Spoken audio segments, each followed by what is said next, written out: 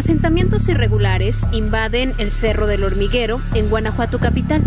Habitantes del fraccionamiento universitario y Lomas de Zaragoza, cercanos al área natural protegida de la Bufa, aseguran que se han construido al menos ocho viviendas de tabique, cartón, piedra, lámina y otros materiales.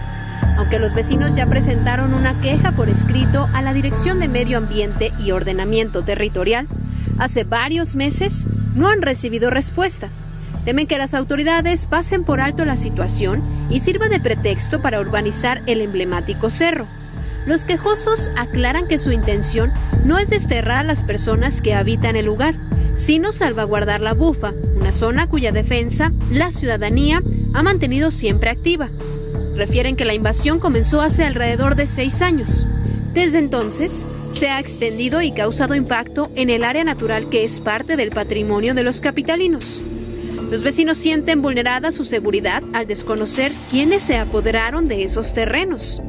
Comenzaron llevando animales a pastorear y poco a poco fueron levantando precarias viviendas.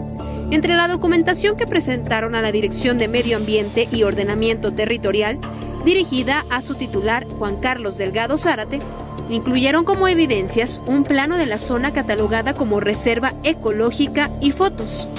Ante la falta de respuesta de las autoridades municipales, los inconformes optaron por buscar apoyo en el Instituto de Ecología del Estado de Guanajuato. Sin embargo, tampoco los atendieron. En un recorrido, Correo corroboró que hay alrededor de media docena de casas e incluso un camino para acceder a una de ellas.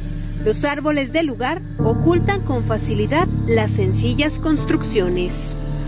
Correo al punto.